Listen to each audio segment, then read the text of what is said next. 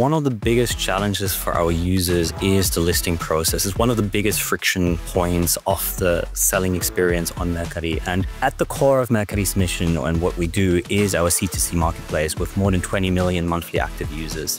And as an AI team, our mission is to really make this user experience from the buying to the selling as easy and seamless as possible. What we delivered with our AI listing support feature is a massively simplified experience. Users can literally just take a few pictures of the item and have AI list your item in a matter of 15 seconds or so, what would have taken earlier at the very least 5 to 10 minutes. Google Cloud and Weights and Biases allowed us to dramatically improve the user experience on our marketplace, both on the listing and on the buying side, bringing down the time to list from minutes to a matter of a few seconds. And similarly, on the discovery side, allowing users to find new items that they're looking for from a single image in literally under a second.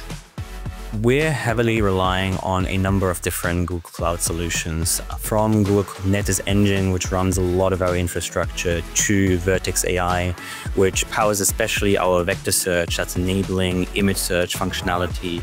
Building on top of Google Cloud and weights and biases allows us to have confidence and move fast and go bold into this future of AI-enabled e-commerce. And we're really excited to see what the next few months and years will bring on this journey.